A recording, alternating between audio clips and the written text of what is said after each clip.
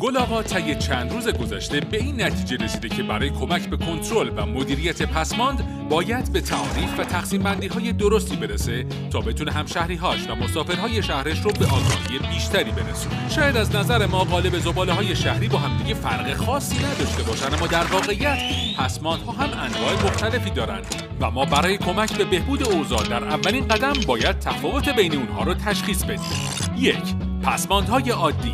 به کلیه پسماندهای مثل زباله های خونگی که به صورت معمول از فعالیت های روزمره انسانها در شهرها و روستاها و نخله های ساختمانی که در خارج از اونها تولید میشه گفته میشه. دو پسماندهای پزشکی یا بیمارستانی. به کلیه پسماندهای عفونی و زیانآور ناشی از بیمارستانها، مراکز بهداشتی، درمانی، آزمایشگاه های تشخیص طبی و سایر مراکز مشابه گفته میشه.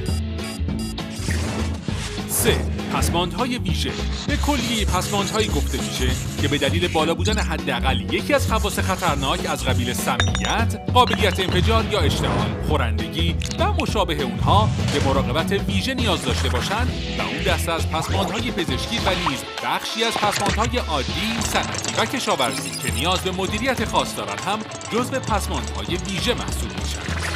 چهار پسماندهای کشاورزی به پسماندهای ناشی از فعالیت‌های تولیدی در بخش کشاورزی گفته میشه از قبیل فضولات، لاشه حیوانات، محصولات کشاورزی فاسد یا غیر قابل مصرف.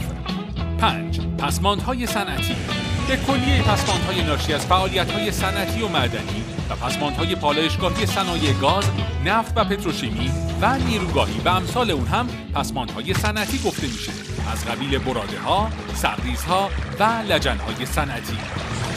خب حالا که به این دسته بندی رسیدیم بهتره بدونیم که هر کدوم از ما با چه گروهی از این پسماندها سر و کار داریم تا با شناخت درست از اونها بتونیم کاهش، تفکیک و تحویل اونها رو مدیریت کنیم. برای مثال از زباله های منزل شروع می‌کنیم. ماه تیتی به عنوان یه خانم خونهدار حتما می‌دونه که این تقسیم بندی چطور انجام میشه. برای همین لیستی به این شرح از زباله های داخل منزل تهیه کرده. یک زباله تر مثل غذاهای دورریز، برگ درختای باغچه، توفاله قهوه و چای و چیزای این شکلی. دو زباله بهداشتی مثل پوشک های دور انداختنی. سه زباله خوش که شامل هر نوع کاغذ، بشقاب های کاغذی، بلیت ها، صورت حساب های تلفن، گوشه و از این قبیل کاغذ هاست. چهار زباله خشک پلاستیکی مثل کیسه های پلاستیکی، بطری های نوشابه، بطری های آب، ظروف شیر و کیسه های بسته‌بندی زباله. اما یکی از زباله های بسیار مهم زباله خشک خطرناکه مثل سرنگ های استفاده شده، حشر کش ها، داروهای دور انداختنی، باتری ها، سیدی ها و لامپ های فلورسنت که باید حتما اونها رو جدا از زباله های دیگه قرار بدیم.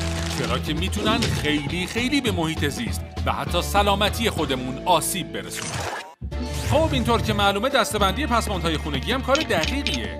گلاغا و ماهتیتی تو اولین قدم به تقسیم بندی دقیق و علمی رسیدن که می‌تونه بازیافت رو ممکن و دفن زباله رو کم ضررتر کنه. میگم بیاید ما هم با تقسیم بندی زباله هامون اولین قدم رو برای تفکیک صحیح زباله ها برداریم. کافیه یه لیست از مواردی که نام بردیم رو روی کاغذ بنویسیم و جایی مثل آشپزخونه یا جای دیگه که جلوی چشممون باشه نصب کنیم تا به مرور تو ذهنمون بمونه.